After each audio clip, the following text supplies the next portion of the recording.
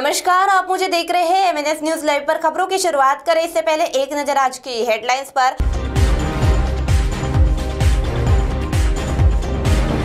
विवाह समारोह का एनडीएफ ने बजाया बैंड बाइक स्लिप होने से युवक की मौत। शराब के नशे में कुएँ में गिरकर मौत। आइए देखते हैं खबरें अब विस्तार से।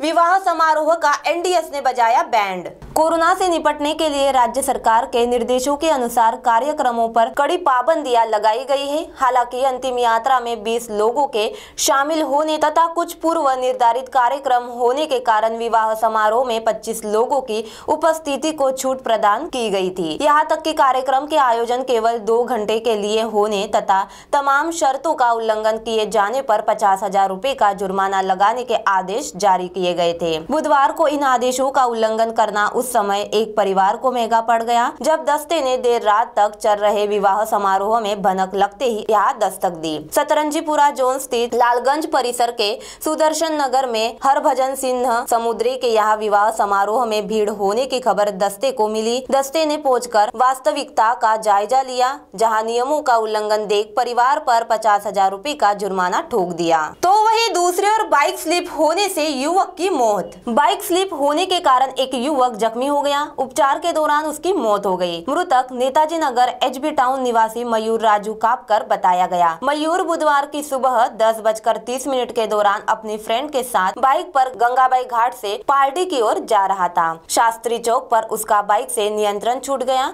बाइक स्लिप हो गई और दोनों गिर गए। मयूर बुरी तरह जख्मी हो गया, जबकि उसकी सहेली को मामूली चोट लगी। स्थानीय नागरिकों ने घटना की जानकारी पुलिस को दी, तुरंत मयूर को निजी अस्पताल ले जाया गया। दोपहर एक बजे के दौरान उसने दम तोड़ दिया। लकड़गंज पुलिस ने मयूर के छोटे भाई वैभव की शिकायत पर आकस्मिक मौत का मामला दर्ज कर जाँच आरंभ की है। तो वही तीसरे और शराब के नशे में कुएँ में गिरकर मौत। नागपुर कलमना थाना क्षेत्र में एक युवक शराब के नशे में कुएँ में गिर गया। डूबने से उसकी मौत हो गई। मृतक पार्वती नगर निवासी नितिन नारायण बिनेकर बताया गया। उसे शराब की लत थी। वह सुबह से ही शराब के नशे में डूब जाता था।